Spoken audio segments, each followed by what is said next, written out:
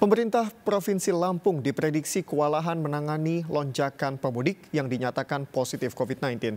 Tim Satgas Penanganan COVID-19 Provinsi Lampung terus berupaya menyediakan tempat isolasi yang semakin menipis.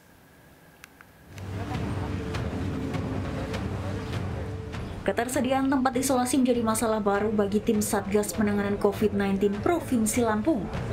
Pemerintah Provinsi Lampung saat ini terus berkoordinasi dengan banyak pihak, baik kabupaten maupun kota, untuk mengatasi lonjakan pemudik yang dinyatakan positif COVID-19. Tim Satgas Penanganan COVID-19 Provinsi Lampung terus berupaya menyediakan tempat isolasi yang semakin menipis. Berdasarkan data dari Satgas Penanganan COVID-19 Provinsi Lampung, hingga Kamis pagi, jumlah pemudik pada arus balik di tujuh pos penyekatan yang dinyatakan positif mencapai 889 orang Angka tersebut diprediksi akan terus bertambah mengingat mandatory check yang diperpanjang hingga 31 Mei mendatang.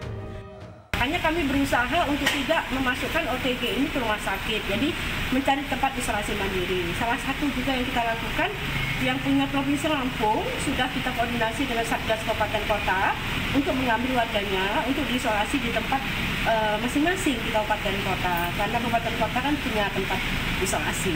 Nah, Provinsi Lampung juga menjadi provinsi kedua dengan angka kematian tertinggi di bawah Provinsi Jawa Timur dengan presentasi kematian mencapai 5,2 persen.